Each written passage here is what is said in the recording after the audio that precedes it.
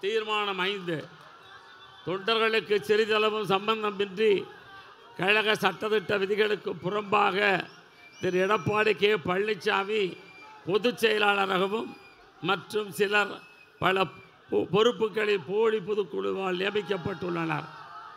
கழக நெறிமுறைகளின்படி அல்லாமல் முற்றிலும் முரணாக நியமிக்கப்பட்டுள்ள அத்துணை நிர்வாகிகளும் உடனடியாக அப்பொறுப்பிலே இருந்து நீக்கப்பட வேண்டும் என்று இந்த அடிப்படை உறுப்பினர் மாநாடு ஒருங்கிணைப்பாளர் அண்ணன் பன்னீர்செல்வம் அவர்களை கேட்டுக்கொள்கிறது அண்ணன் பண்டுட்டியார் முன்மொழிய நீங்கள் வழிமொழிய இந்த ஐந்து தீர்மானங்களையும் உங்கள் முன்வைத்து விடைபெறுகிறேன். நன்றி வணக்கம். மீதமுள்ள நான்கு தீர்மானங்களை கழக துணை ஒருங்கிணைப்பாளர் அருமை சகோதரர் மனோஜ் பாண்டியன் அவர்கள் இப்போது வாசிப்பார்கள். அனைத்து இந்திய அண்ணா திராவிட முன்னேற்ற கழகத்தினுடைய ஒருங்கிணைப்பாளர் நேற்று இன்று என்றும் நம்முடைய ஒருங்கிணைப்பாளர் அண்ணன் ஓபிஎஸ் அவர்களை வணங்குகிறேன். அம்மாவுக்கு விசுவாசமானவர் ஓபிஎஸ் ஓபிஎஸ்க்கு விசுவாசமானவர்கள் தொண்டர்கள் என்பதை இங்கே நான் தெரிவிக்க கடமைப்பட்டிருக்கின்றேன். இந்த கூட்டம் கூவத்தூரில் உருவான கூட்டம் அல்ல உண்மையான புரட்சி தலைவி அம்மாவனுடைய கூட்டம் என்பதை தெரிவித்துக் கொள்ளுகின்றேன்.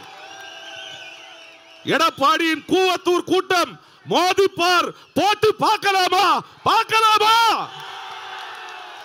இப்பொழுது தீர்மானங்களை வாசிக்க விளைகின்றேன் எங்களால் தேர்ந்தெடுக்கப்பட்ட இணை ஒருங்கிணைப்பாளர் எடப்பாடி பழனிசாமி அவர்கள்தானே தன- தனது பதவியிலிருந்து விலகிவிட்டதாக இந்திய தேர்தல் ஆணையருக்கு ஏற்கனவே அறிவித்து விட்டார். ஆகவே ஒருங்கிணைப்பாளர் அவர்களே இரண்டாயிரத்தி இருபத்தி ஆறாம் ஆண்டு வரை முழு பொறுப்புகளையும் மேற்கொண்டுள்ளார். அதன் அடிப்படையில் இடைக்காலத்தில் இந்த பொறுப்புகளை இடைத்தேர்தல் நடத்துவதற்கு பதிலாக அவரால் நியமிக்கப்பட்ட ஆண்ணன் இணை ஒருங்கிணைப்பாளர் ஆர் வைத்தியலிங்கம் எம்எல்ஏ துணை ஒருங்கிணைப்பாளர் திரு கூப்பா கிருஷ்ணன் துணை ஒருங்கிணைப்பாளர் திரு ஜேசிடி பிரபாகர் மற்றும் துணை ஒருங்கிணைப்பாளர் ஆகிய என்னை பொறுப்புகளை கொடுத்தது அண்ணன் ஓபிஎஸ் அவர்கள் எங்களுக்கு கொடுத்திருக்கின்றார்கள். இந்த அடிப்படை தொண்டர்கள் அங்கீகாரம் தர வேண்டும் என்று கேட்டுக்கொள்கின்றோம்.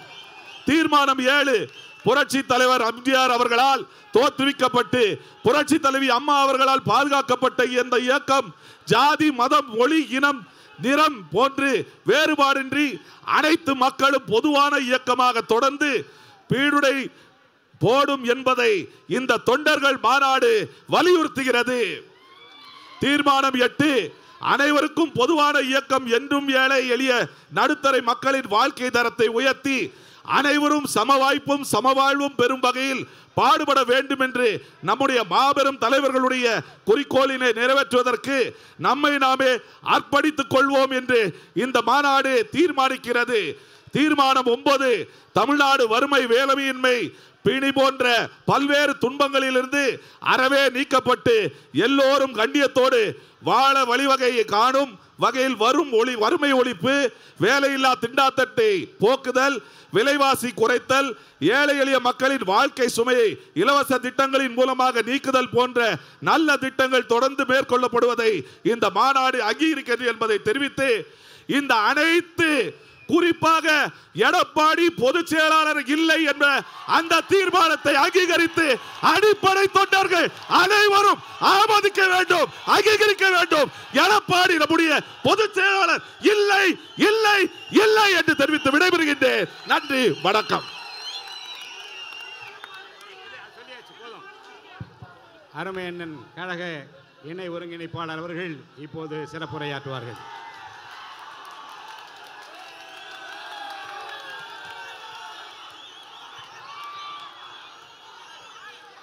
இதய தெய்வம்.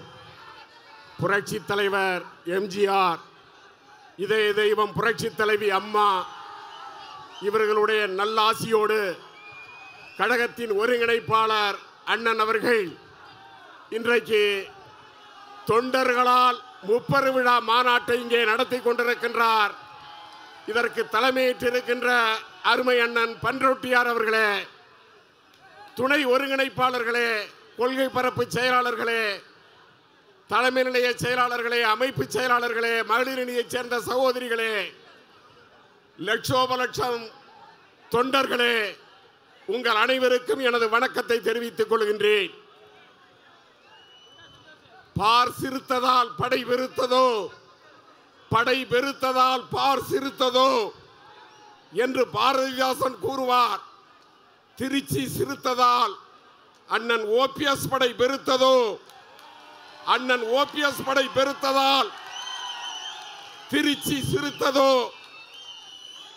என்ற வரிகளுக்கு ஏற்ப வங்கக்கடலும் அரபிக்கடலும் இந்து மகா சமுத்திரமும் ஒன்றாக சங்கமித்தது போல் மக்கள் கடல் இங்கே திரண்டு இருப்பதை பார்க்கும் பொழுது ஆயிரம் எடப்பாடி வந்தாலும் ஒரு ஓபிஎஸ்க்கு சமமில்லை.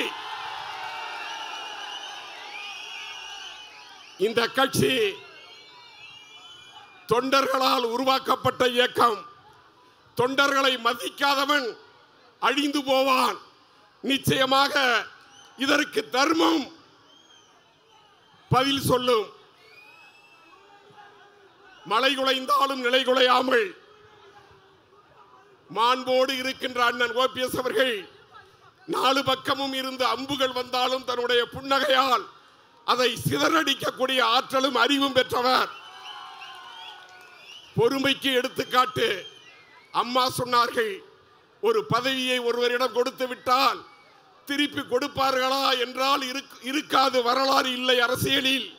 அதை திருப்பி கொடுத்தவர் எனது சகோதரர் பன்னீர்செல்வம் என்று புரட்சி தலைவி அம்மா சொன்னார். ஒரு முறை அல்ல மூன்று முறை கொடுத்த முதலமைச்சர் பதவியை திருப்பி கொடுத்த ஒற்ற பரதன் புரட்சி அண்ணன் ஓபிஎஸ் அவர்கள். என்னன்றி கொன்றார்க்கும் உய்வுண்டா உய்வில்லை? செய் நன்றி கொன்ற மகர்க்கு என்று வள்ளுவன் சொன்னான். அவரை காலில் விழுந்து முதலமைச்சரான எடப்பாடி பழனிசாமி சரஸ்வதி சபதம் என்ற படத்திலே கே ஆர் விஜயா பிச்சைக்கார பெண்ணாக நடிப்பார். அவர் யானை மாலையிட்டு ராணியாகுவார். ராணி ஆனவுடன் திமிர் அதிகமாக இருக்கும். அதை அடக்குவார்கள். அதுபோல் எடப்பாடி திமிரை தொண்டர்களாகிய நீங்கள்தான் அடக்க வேண்டும். புரட்சி தலைவருக்கும் புரட்சி தலைவிக்கும் யார் ஒருவர் துரோகம் செய்தால் நிச்சயமாக கழக தொண்டன் ஒன்றரை கோடி தொண்டன் மன்னிக்க மாட்டான். புரட்சி தலைவர் வகுத்த விதியை புரட்சி தலைவி கட்டி காத்த விதியை காலில் மிதித்து புரட்சி தலைவிதான் நிரந்தர முதலமைச்சர் என்பதை ரத்து செய்த எடப்பாடி பழனிசாமிக்கு நாம் தண்டனை கொடுத்தாக வேண்டும். இன்றைக்கு எடப்பாடி பழனிசாமி முன்னுக்கு புறனாக பேசிக் கொண்டிருக்கிறார். கொடநாடு கொள்ளை நடந்த நாள் ஏப்ரல் இருபத்தி நாலு இன்று. ஆ- ஆயிரத்தி ரெண்டாயிரத்தி பதினேழு ஏப்ரல் இருபத்தி நாலாம் தேதி தான் நடந்தது. அந்த நாள் தான் இந்த மாநாடு நடக்கிறது. அந்த குற்றவாளி யாராக இருந்தாலும் அவன் எவ்வளவு பெரிய கொம்பனாக இருந்தாலும் இறைவன் தண்டிப்பான்.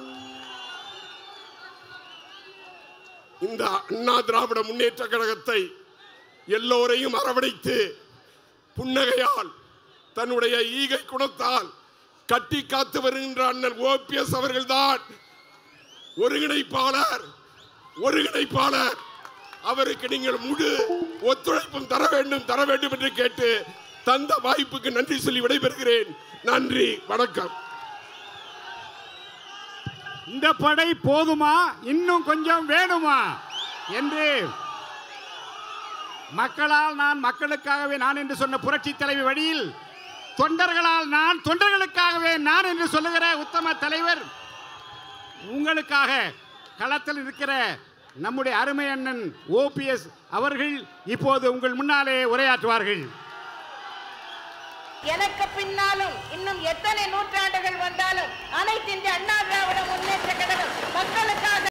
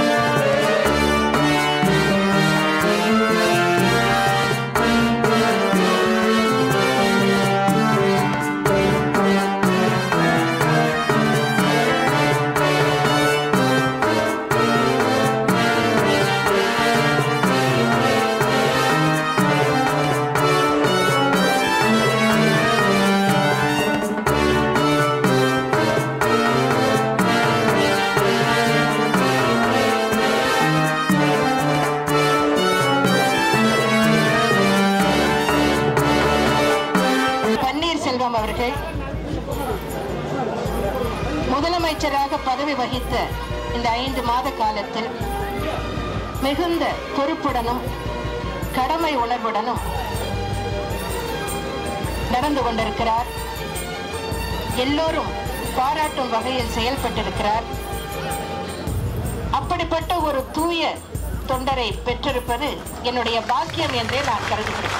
நம்முடைய வரலாற்றில் இந்த ஒரே ஒரு விஷயத்தில் தான் இந்த ஒரே ஒரு கேஸ் ஹிஸ்டரி தான் உள்ளது. ஒருவரை ஒரு அரியாசனத்தில் அமர வைத்துவிட்டு அதன் பின்னர் உரியவருக்கே அந்த அரியாசனம் திரும்ப தரப்பட்டதாக வேறு வரலாறே இல்லை. அந்த புதிய வரலாற்றை படைத்து காட்டியவர் அன்பு சகோதரர் ஓ பன்னீர்செல்வம் அவர்கள். நான் போன பின்னும் நீ வாழ வேண்டும். எந்த மூச்சு உனக்குள்ளும் உண்டு. அண்ணா நாமம் வாழ்க புரட்சி தலைவர் நாமம் வாழ்க என்று கூறி விடைபெறுகிறேன். நன்றி வணக்கம்.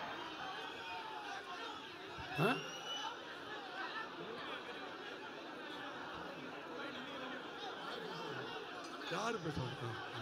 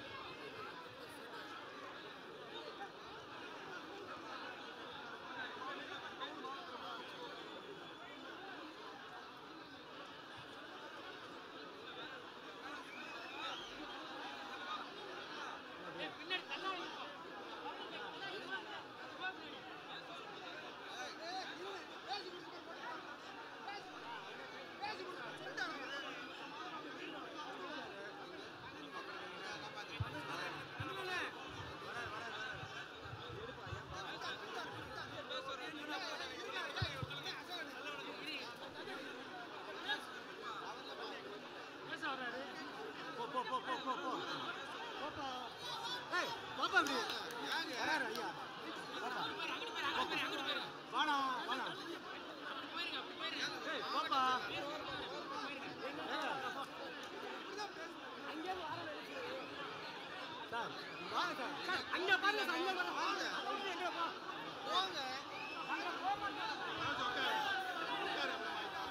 முடிச்சிட்டு வாங்கிக்கிறேன் முடிச்சுட்டு. முடிச்சுட்டு வாங்கிக்கிறேன் முடிச்சுட்டு. முடிச்சுட்டு வாங்கிக்கிறேன்.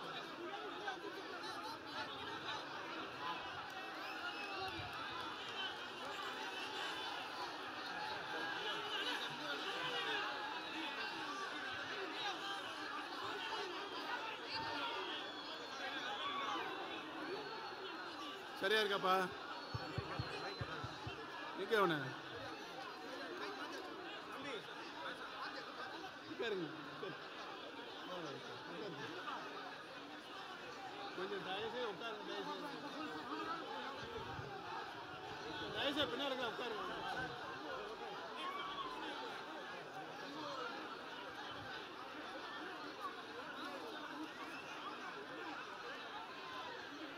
மக்கள் வாழ்வில் மாபெரும் தலைவர்கள்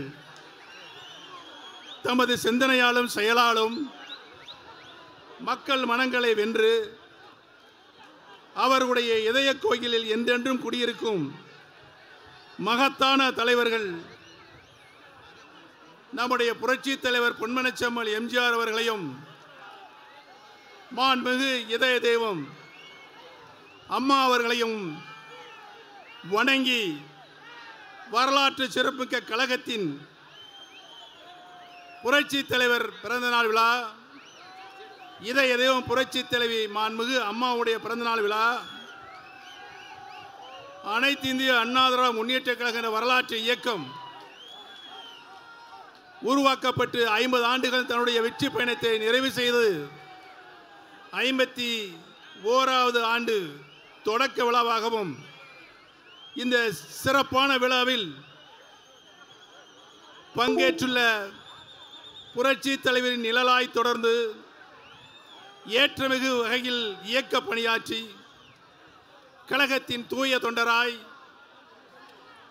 நம்மளையெல்லாம் வழிநடத்தும் அன்பு தலைவராய் நமது இதயங்களில் நிறைந்திருக்கும் கழக அரசியல் ஆலோசகர் மரியாதைக்குரிய அன்பு அண்ணன் திரு எட பன்ருட்டியார் அவர்களை கழகத்தின் இணை ஒருங்கிணைப்பாளர் அன்பு சௌர திரு வைத்திலிங்கம் அவர்களை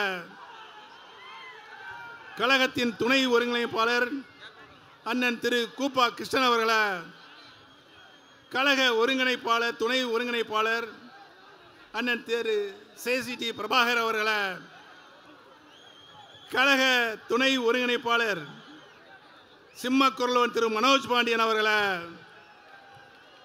கழக கொள்ளிபரப்பு செயலாளர் அன்பு சகோதரர் திரு புகழேந்தி அவர்களை கழக கொள்ளிபரப்பு செயலாளர் அண்ணன் திரு மருது அழகராஜ் அவர்களை வருகை உறிந்திருக்கின்ற ஆற்றல் மிகுந்த தலைமை கழகத்தினுடைய நிர்வாகிகளை கழக அமைப்பு செயலாளர்களை ஆற்றல் மிகுந்த மாவட்ட கழகனுடைய செயலாளர்களை வருகை உறிந்திருக்கின்ற கிளைக்கழகத்தினுடைய செயலாளர்கள் முதல் கழகத்தின் அனைத்து நிர்வாகிகளை கழக சார்பு அணியின் செயலாளர்களை கழக முன்னோடிகளை வருகை உறிந்திருக்கின்ற நாடாளுமன்ற உறுப்பினர் திரு. ரவீந்திரநாத் அவர்களை நாடாளுமன்ற மாநிலங்களவை உறுப்பினர் திரு தர்மர் அவர்களை வருகை விரைந்திருக்கின்ற சட்டப்பேரவை உறுப்பினர் அன்பு சகோதரர் திரு ஐயப்பன் அவர்களை என்னையும் என்னையும் இந்த இயக்கத்தையும் வழிநடத்துகின்ற கழக தொண்டர்களே பெரியோர்களே தாய்மார்களே சகோதர சகோதரிகளே பத்திரிகை மற்றும் தொலைக்காட்சி நண்பர்களே உங்கள் அனைவருக்கும் என்னுடைய நன்றியும் வணக்கத்தையும் இந்த நல்ல நேரத்திலே தெரிவித்துக் கொள்ள கடமைப்பட்டு இருக்கின்றேன் நமது இயக்கம் நெஞ்சம் நிமிர்ந்து நின்றிட இயக்கத்தின் முதுகெலும்பாக திகழும் அனைத்திந்திய அன்னார முன்னேற்ற கழகத்தின் தொண்டர்களாகிய எனது அன்பு சகோதரர்களுக்கும் சகோதரிகளுக்கும் எனது கனிவான வணக்கம். பேரறிஞர் அண்ணா அவர்களது பெயரால் அமைந்திருக்கும் நமது இயக்கம் ஒரு சாதாரண இயக்கம் அல்ல வரலாற்று சிறப்புமிக்க அனைத்திந்திய அண்ணாதிராவிட முன்னேற்ற கழகம் என்னும் பெருமிக்க நம்முடைய இயக்கம் மக்கள் திலகம் புரட்சி தலைவர் எம்ஜிஆர் அவர்கள் தொடங்கிய இயக்கம் புரட்சி தலைவி அம்மா அவர்கள் வளர்த்த இயக்கம் ஆயிரம் காலத்து பயிராக ஒன்றரை கோடி தொண்டர்களின் உயிராக ஆள்போல் தலைத்து அருகுபோல் வேரூன்றி எவராலும் அழித்திட இயலாத அற்புத சக்தியாக விளங்குவதுதான் நம்முடைய இயக்கம். இந்த இயக்கத்தின் இருப்பது நாம் செய்த புண்ணியம் என்று எண்ணி எவ்வித எதிர்பார்ப்பும் இன்றி கழகத்திற்காக தங்களுடைய வாழ்வையே ஒப்படைத்திட்ட தொண்டர்கள்தான் அனைத்திந்திய அன்னார முன்னேற்ற கழகத்தின் தூய தொண்டர்கள். புரட்சி தலைவர் எம்ஜிஆர் அவர்கள் வகுத்து தந்த பாதையில் மாண்புமிகு அம்மா அவர்கள் காட்டிய அரசியல் நெறியில் வழி பிசகாது நடப்பதே நாம் செய்த பாக்கியம் என்று உள்ளத்திலே உறுதி கொண்டு உழைப்பிலே மேன்மை கொண்டு வாழ்கின்ற தொண்டர்கள் நம்முடைய கழகத்தினுடைய தொண்டர்கள். வீழ்வது நாமாயினும் வாழ்வது இயக்கமாகட்டும். வீழ்வது நாமாயினும். வாழ்வது நம்முடைய அனைத்திந்திய அன்னார முன்னேற்ற கழகம் என்ற மாபெரும் இயக்கமாகட்டும். வளம் பெறுவது தமிழகமாகட்டும் என்று வீறு கொண்டு எழுந்து மக்கள் பணியாற்றும் மனத்திற்பம் கொண்ட வேங்கைகள் நம் இயக்கத்தினுடைய தூய தொண்டர்கள். கழகத்தின் ஆணிவராக இருப்பதும் தொண்டர்கள்தான். விழுதலாகி வேர்விட்டு தாங்கி நிற்பதும் நம்முடைய தொண்டர்கள்தான். அதனால்தான் இந்த இயக்கத்தின் தலைமை பொறுப்புக்கு யார் வர வேண்டும் என்று தேர்ந்தெடுக்கும் பொறுப்பை கழகத் தொண்டரின் உரிமையாக்கி கழகத்தினுடைய தலைமை பொறுப்புக்கு யார் வர வேண்டும் என்று தேர்ந்தெடுக்கின்ற அடிப்படை உரிமையை கழகத்தின தொண்டர்களுடைய உரிமையாக்கி நமது இயக்கத்தை நிறுவிய புரட்சித் தலைவர் பொன்மனச்செல்மல் டாக்டர் எம்ஜிஆர் அவர்கள் வழங்கினார்கள். மாண்புமிகு புரட்சித் தலைவி அம்மா அவர்கள் அந்த உரிமையை உறுதியாக்கினார்கள் என்பதை அதுதான் வரலாறு. கடந்த ஐம்பது ஆண்டு காலமாக அந்த இருவரும் தலைவர்களும் புரட்சி தலைவர் எம்ஜிஆர் புரட்சி தலைவர் மாண்புமிகு அம்மா அவர்கள் கழக சட்ட விதிப்படி இயக்கத்தை வழிநடத்தி கிட்டத்தட்ட முப்பது ஆண்டு காலம் கழகத்தின் ஆட்சி செய்கின்ற உரிமையை தமிழக மக்களிடமிருந்து பெற்றார்கள் என்பதுதான் வரலாறு. திராவிட இயக்கத்தினுடைய பரிணாம வளர்ச்சியாக தந்தை பெரியார் பேரறிஞர் அண்ணா புரட்சி தலைவர் எம்ஜிஆர் நம்முடைய இதயதவும் புரட்சி தலைவி மாண்புமிகு அம்மா அவர்கள். சமுதாய சீர்திருத்தத்திற்காக வாழ்ந்தவர் தந்தை பெரியார் அவர்கள் தமிழ் சமுதாயம் தலை நிமிர்ந்து வாழ்வதற்காகவே வாழ்ந்தவர் பேரறிஞர் பெருந்தகை அண்ணா அவர்கள் ஏழை தாய்மார்களின் கண்ணீரை துடைப்பதற்காக வாழ்ந்தவர் நம்முடைய இதயதும் புரட்சி தலைவர் எம்ஜிஆர் அவர்கள். இந்த முப்பெரும் தலைவர்களின் அன்பு ஆற்றல் அறிவு ஆகிய குணங்களை ஒரே பெற்ற ஒரே தலைவர் இதயதயம் டாக்டர் புரட்சி தலைவி அம்மா அவர்கள்தான். தமிழகத்தினுடைய அரசியல் வரலாற்றில் ஒரு தனிப்பட்ட இயக்கம் கட்சி தமிழகத்தினுடைய அரசியல் வரலாற்றில் ஒரு தனிப்பட்ட இயக்கம் கட்சி முப்பது ஆண்டுகளுக்கு மேலாக ஆட்சி செய்கின்ற ஒரே பெருமையை பெற்ற ஒரே இயக்கம் அனைத்திந்திய அன்னாரம் முன்னேற்ற கழகம் தான் என்பதனை நான் இங்கு சுட்டிக்காட்ட கடமைப்பட்டிருக்கிறேன். அந்த பெருமையை பெற்றுத்தந்தவர்கள் இதயம் டாக்டர் புரட்சி தலைவர் எம்ஜிஆர் அவர்களும் புரட்சி தலைவி மாண்புகு அம்மா அவர்கள் தான் புரட்சி தலைவர் அவர்கள் மறைவுக்கு பின்னால் இதை இதயம் டாக்டர் புரட்சி தலைவி மாண்புகு அம்மா அவர்கள் கழகத்தினுடைய பொதுச் செயலராக பொறுப்பேற்று முப்பது ஆண்டு காலம் இந்த இயக்கத்திற்கு வந்த வேதனைகள் சோதனைகள். இந்த இயக்கத்தை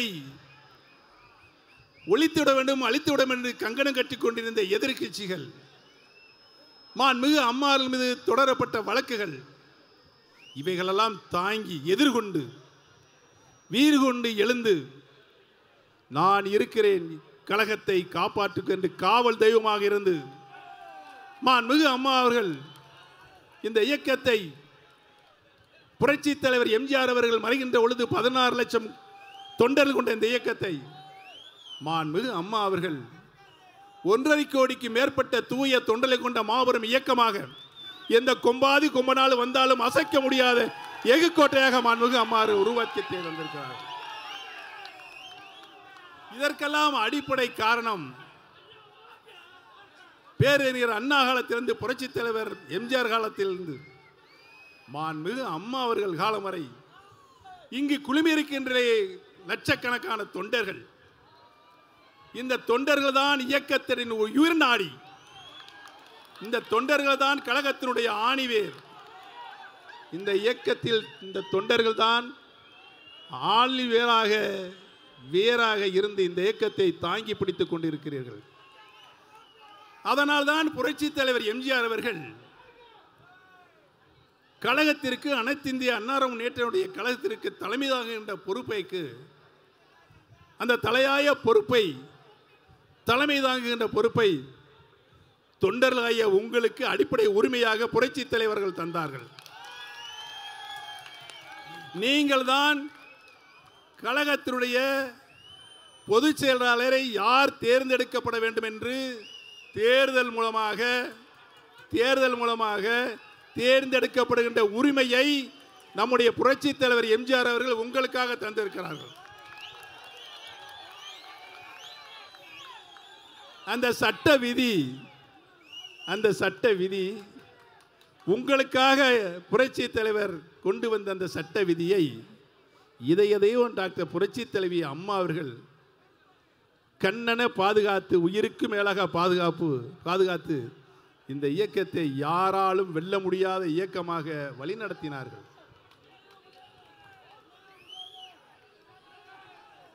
நாமும் மாண்புமிகு அம்மா அவர்களுக்கு கழகத்தினுடைய நிரந்தர பொதுச் செயலாளர் யார்? கழகத்தினுடைய நிரந்தர பொதுச் செயலாளர் இதை எதையும் டாக்டர் புரட்சி தலைவி மாண்புமிகு அம்மா என்று. உண்மையான பொதுக்குழுவில் தீர்மானம் நிறைவேற்றினோம். அதற்கு பின்னாலே வந்த அதற்கு பின்னாலே வந்த கபட வேடதாரி அரசியல் வித்தகர்கள் வியாபாரிகள் அரசியல் வியாபாரிகள். அரசியல் வர்த்தகத்திற்காக இன்றைக்கு தலைமையிலே உட்கார்ந்து கொண்டிருக்கின்ற நயவஞ்சகர்கள் நம்பிக்கை துரோகிகள் அதை மாற்றுகின்ற மாற்றுகின்ற நயவஞ்சகர்களாக இன்றைக்கு இருக்கிறார்கள். இந்த இயக்கத்தை ஐம்பது ஆண்டு காலம் புரட்சி தலைவர் உருவாக்கிய இயக்கத்தை மாண்புமிகு அம்மா அவர்கள் மிகப்பெரிய இரும்பு கோட்டையாக யாராலும் நெருங்க முடியாத கோட்டையாக எவ்வளவோ வேதனைகள் சோதனைகள் நூற்றுக்கணக்கான வழக்குகள் இவர்களுக்கு உயர்ந்த அந்தஸ்தான பொதுச் செயலாளர் என்ற உரிமையை அந்தஸ்தை நீங்கள் வழங்கினீர்கள். அதை ரத்து செய்கின்ற கல்லஞ்சக்காரர்களாக இன்றைக்கு கல்லஞ்சக்காராக இன்றைக்கு இந்த இயக்கத்தை அபகரிப்புகிற செய்கின்ற எண்ணத்தில் ரத்து செய்திருக்கின்றார்கள். அம்மாவிற்கு கொடுக்கப்பட்ட நிரந்தர பொதுச் செயலாளர் என்ற அந்தஸ்தை ரத்து செய்கின்ற அந்த நயவஞ்சர்களை நாம் ஓட ஓட விரட்டுகின்ற காலம் வெகு தூரத்தில் இல்லை என்பதை தெரிவித்துக் கொள்கின்றேன்.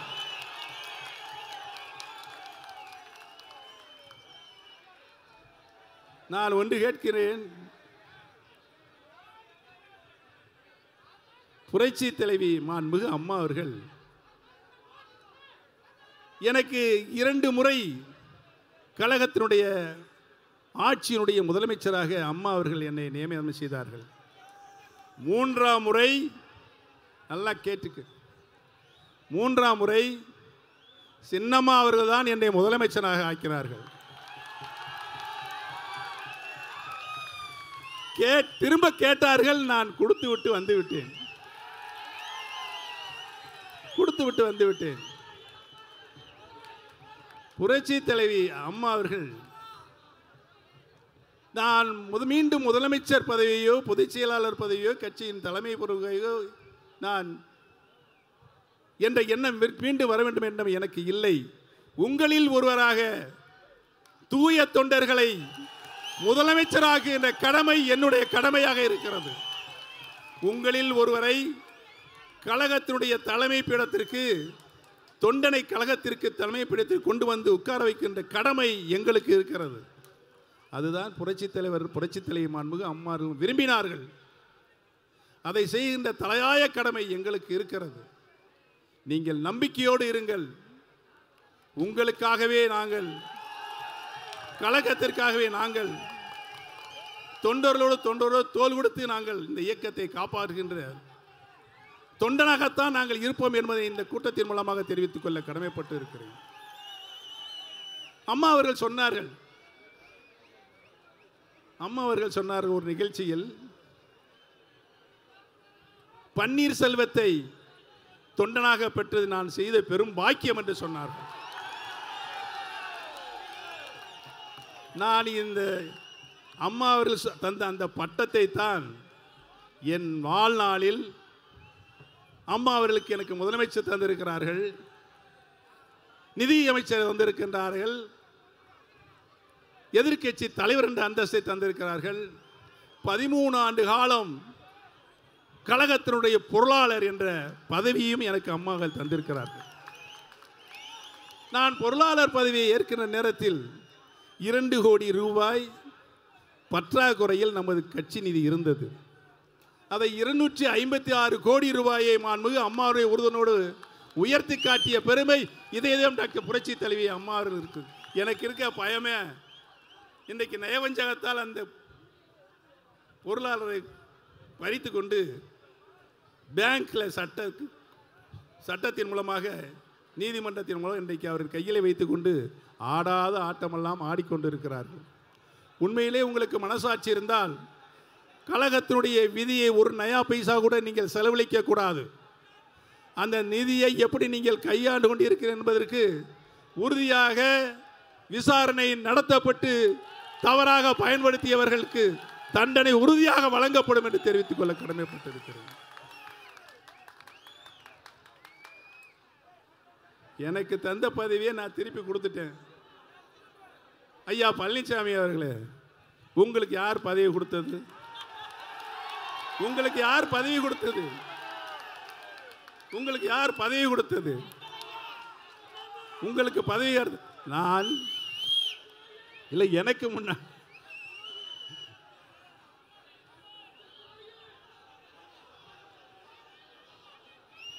சின்னம்மா அவர்கள் உங்களுக்கு முதலமைச்சர் என்ற பதவியை தந்தார்கள். நாம் உண்மையை ஒத்துக்கொள்ள வேண்டும். அவர்களை பார்த்து அவர்களை பார்த்து நாய்கள் நாய் எதையே பார்த்து குறைக்கிறது என்று சொன்னால் எவ்வளவு ஒரு நம்பிக்கை துரோகி எவ்வளவு ஒரு நம்பிக்கை துரோகி. வரலாறு உன்னை மன்னிக்குமா? வரலாறு உன்னை மன்னிக்குமா? மன்னிக்குமா தொண்டர்களை நெய்கல்குறங்கள் மன்னிக்குமா? மன்னிக்காது. இப்படிப்பட்ட ஒரு ஆளை தனக்குத்தானே கழகத்தினுடைய பொதுச் செயலராக தானே முடிசூட்டி கொண்டு ஐயோ இன்னொரு கே- இன்னொரு கேலிக்கூத்து. புரட்சி தலைவர் என்றால் அவருக்கு ஒரு அடையாளம் இருக்கிறது. ஒரு அழகான தொப்பி கருப்பு கண்ணாடி. அழகான தொப்பி. அந்த தொப்பிக்கும் கருப்பு கண்ணாடிக்கும் அழகு சேர்த்தவரே நமது புரட்சி தலைவர் எம்ஜிஆர் அவர்கள் தான் அதை போட்டுக்கொண்டு அதை போட்டுக்கொண்டு கேமராவில் நின்று போஸும் கொடுக்கிறையே. எவ்வளவு பெரிய அநியாயம் எவ்வளவு பெரிய அக்கிரமம். நீயும் புரட்சி தலைவரும் ஒன்றா? நீயும் புரட்சி தலைவரும் ஒன்றா? அவருடைய கால் தூசிக்கு நீ ஆக மாட்டாய்.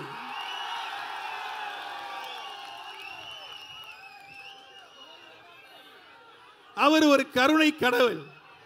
அன்பு தெய்வம் கொடைவள்ளல் கொடைவள்ளல்.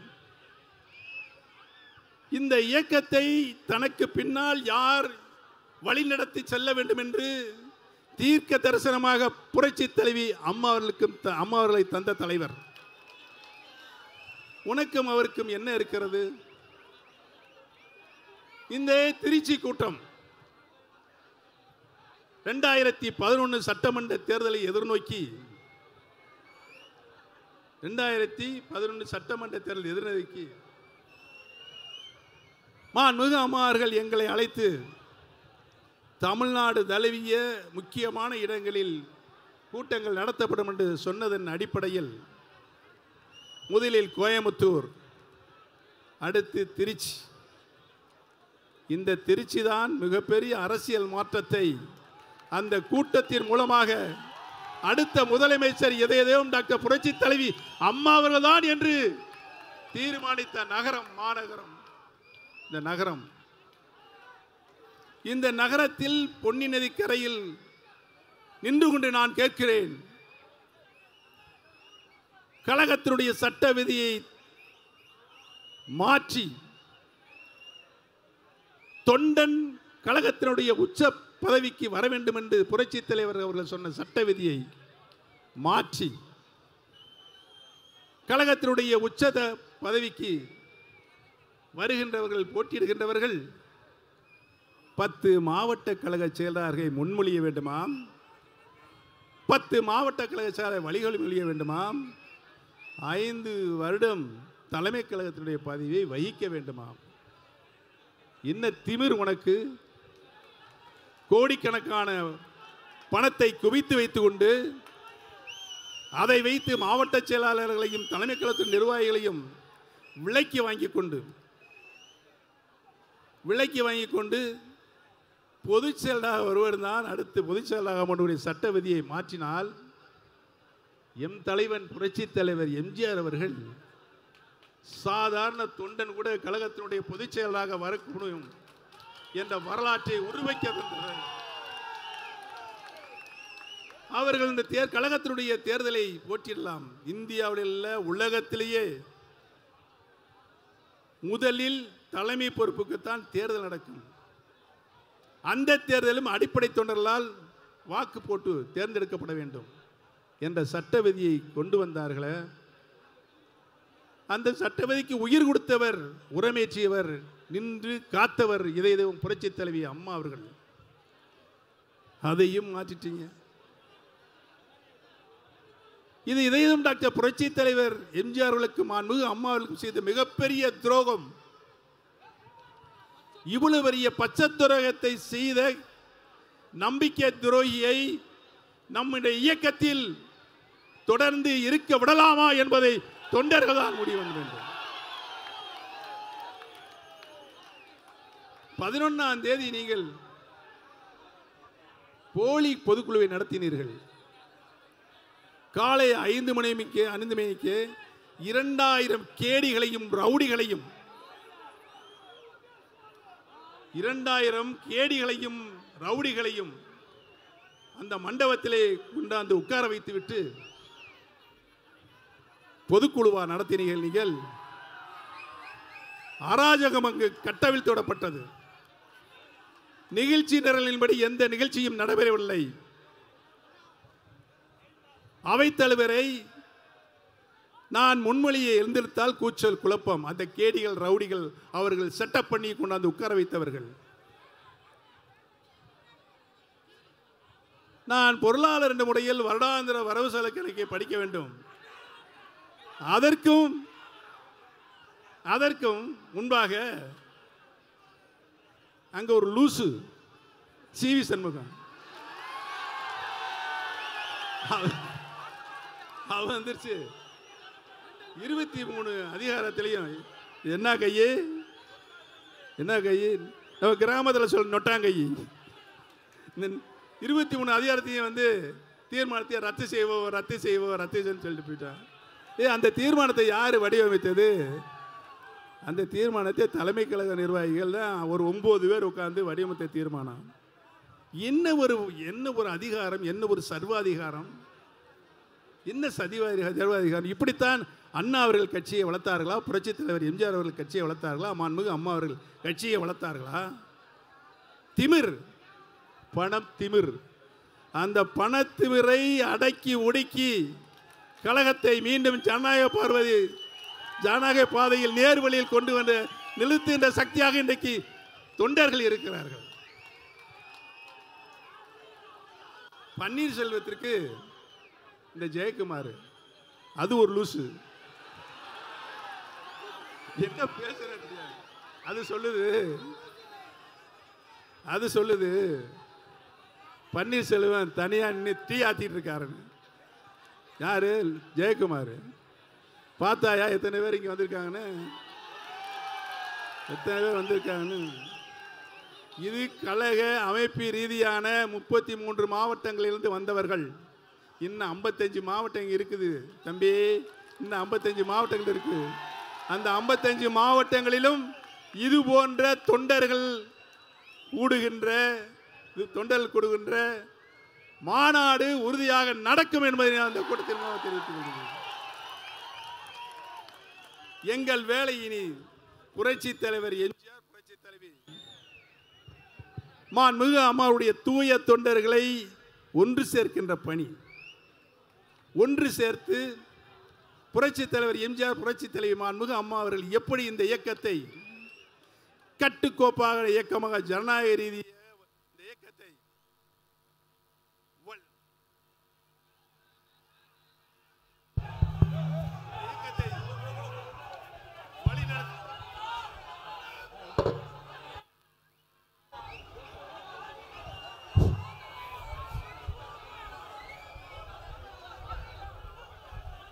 இந்த இயக்கத்தை வழிநடத்தினார்களோ? அந்த வேலையைத்தான் இன்றைக்கு நாங்கள் திருச்சி மாநகரில் ஆரம்பித்திருக்கிறோம்.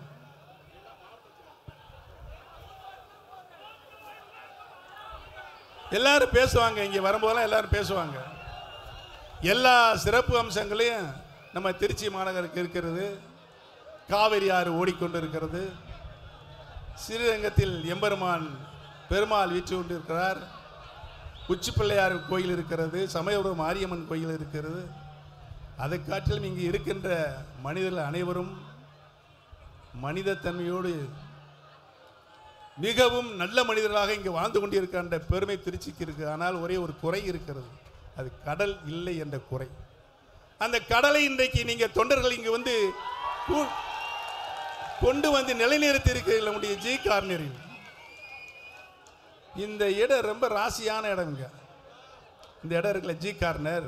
ரொம்ப ராசியான இடம். நம்ம வைத்திலிங்க அவரு நான் சொன்னேன் ஒரு நூறு ஏக்கரில் நூறு ஏக்கரை சமப்படுத்தி அது ஒரு மாநாடு எல்லா மாவட்டங்களையும் கொண்டு வந்து போடணும். இல்லை இல்லை இல்லை இல்லை இல்லை. ஜி கார்னர் ரொம்ப ராசியான இடம். அம்மா அவருக்கு பிடித்த இடம். அம்மா அவர்கள் இங்கே கூட்டம் நடத்தி தான் கூட்டம் நடத்தி தான் மீண்டும் முதலமைச்சராக வருவதற்கு ரெண்டாயிரத்தி பதினேழில் மீண்டும் முதலமைச்சர் அவருக்கு விதை போட்ட நகரம் திருச்சி மாநகரம். ஆகவே இந்த நகரத்தில் தான் நாம் கூட்டம் நடத்த வேண்டும். ஏனென்று சொன்னால் நாம் நடத்துகிறது தர்ம யுத்தம் நாம் நடத்துகின்ற தர்ம யுத்தம் எதனால்? எதனால்? தொண்டர்களின் உரிமையை மீட்டுக் கொடுக்கின்ற தர்ம யுத்தம் ஒரு சாதாரண தொண்டன் கூட பொதுச்செயலாளர் பதவிக்கு போட்டியிடலாம் வரலாம் என்ற தர்ம யுத்தம் ஒரு சாதாரண தொண்டன் கூட முதலமைச்சராக முதலமைச்சராக வருவதற்கு விதை ஊண்டப்படுகின்ற யுத்தம் இன்றைக்கு நடைபெற்று கொண்டிருக்கிறது. அந்த யுத்தத்திற்கு ராசியான இடம் நம்முடைய திருச்சி ஜி கார்னர் என்ற இந்த தான் என்று நம்முடைய வைத்திலிங்கம் ஒரே பிடிவாதமாக இருந்தார். நாங்களும் ரைட்டு அவர் என்றைக்குமே ராசிக்காரர். என்னைக்குமே ராசிக்காரர் அவர். அந்த ராசிக்காரர் தேர்ந்தெடுத்த இந்த இடம் உங்களுடைய வலிமையோடு உங்களுடைய வலிமையோடு எந்த நோக்கத்திற்காக இதயதம் டாக்டர் புரட்சி தலைவர் இந்த இயக்கத்தை உருவாக்கினார்களோ தொண்டர்கள் இயக்கமாக உருவாக்கினார்கள். தொண்டர்களுக்கான இயக்கமாக உருவாக்கினார்கள். அதை பெற்றுத் தருகின்ற தர்ம யுத்தம் இன்றைக்கு திருச்சி மாநகரில் இன்றைக்கு விதையை நாங்கள் ஊனியிருக்கிறோம். இதை விதை வளர்ந்து வளர்ந்து பூ பூத்து காயாக்கி காய் கனியாக்கி அதை திரும்ப தொண்டர்களிடத்திலே தருகின்ற இந்த தர்ம யுத்தத்தை நாங்கள் இன்றைக்கு தொடங்கி இருக்கிறோம் அதற்கு நம்முடைய தூய தொண்டர்கள் நீங்கள் வீதி வீதியாக சென்று மக்களை சந்தித்து எடப்பாடி பழனிசாமியுடைய இந்த சர்வாதிகார போக்கு இந்த இயக்கத்தை அழிப்பதற்காக இந்த இயக்கத்தை மிட்டாதார்களும் இரசார்களும் ஜமீன்தார்களும் ராஜாக்களும் தான் இந்த இயக்கத்திற்கு தலைமை பொறுப்புக்கு வர வேண்டும் என்று சட்ட விதியை திருத்திய எடப்பாடி பழனிசாமியுடைய நம்பிக்கை துரோகத்திற்கு சாவுமணி அடித்தே ஆக வேண்டும் என்ற நிலை இன்றைக்கு உருவாக்கப்பட்டிருக்கிறது. அதை செய்து முடிக்கின்ற ஆற்றல் இன்றைக்கு உங்களிடம் இருக்கிறது. உங்களை நம்பித்தான் நாங்கள் இந்த தர்ம யுத்தத்தை தொடங்கி இருக்கிறோம் என்பதனை தெரிவித்துக் கொள்ள கடமைப்பட்டு எங்களுக்கு இல்லை எங்களுக்கு இப்போ எல்லா பதவியும் மாண்பு அம்மா அவர் கொடுத்து விட்டார்கள்.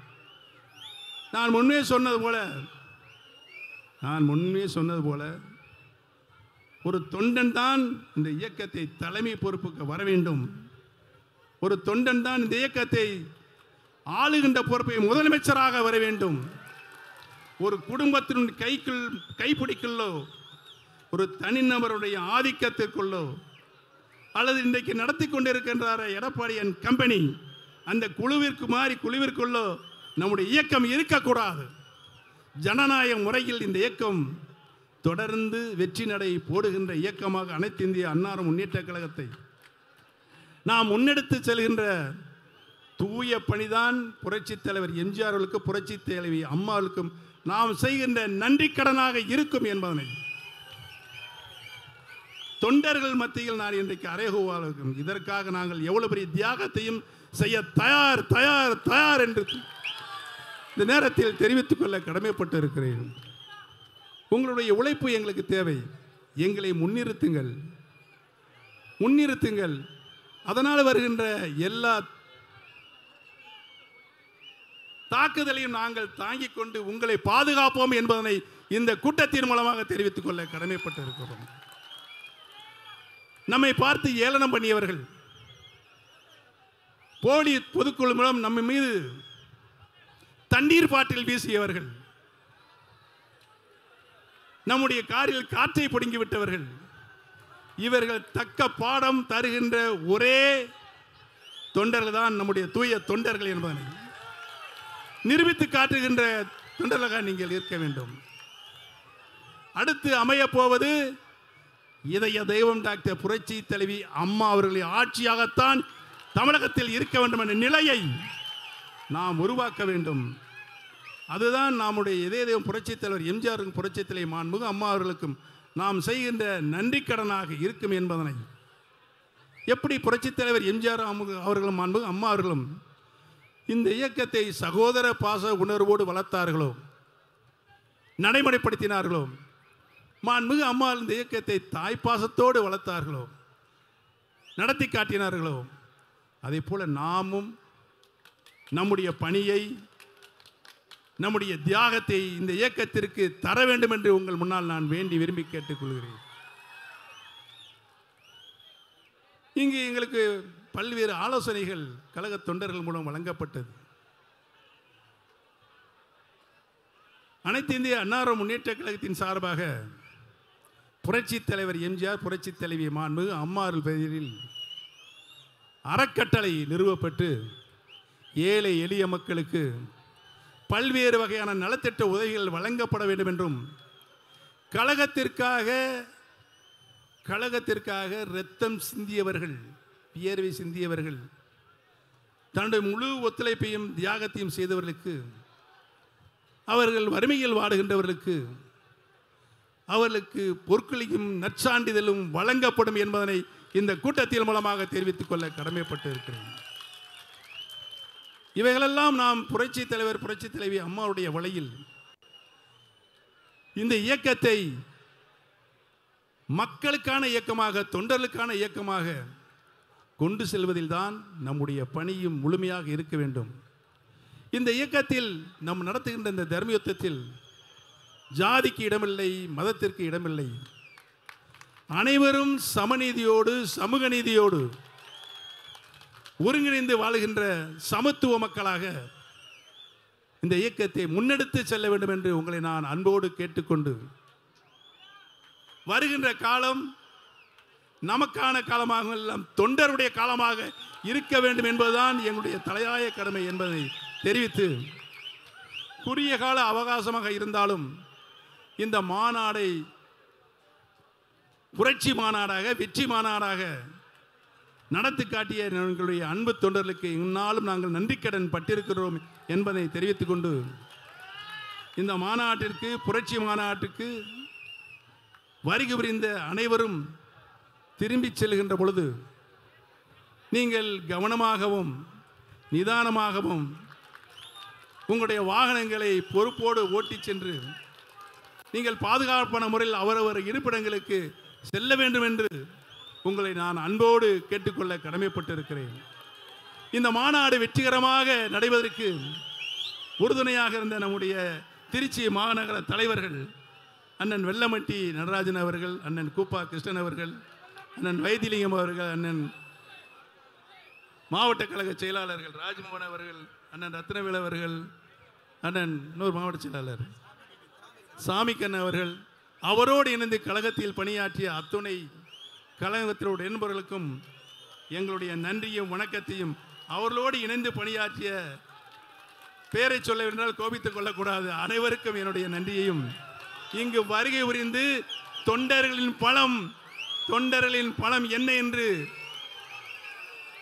காண்பிக்க வேண்டியவர்களுக்கு காண்பித்த அத்தனை தொண்டர்களுக்கும் எங்களுக்கு எங்களுடைய நன்றியும் வணக்கத்தையும் தெரிவித்து விடைபெறுகிறேன். அமைகிறேன் நன்றி வணக்கம்.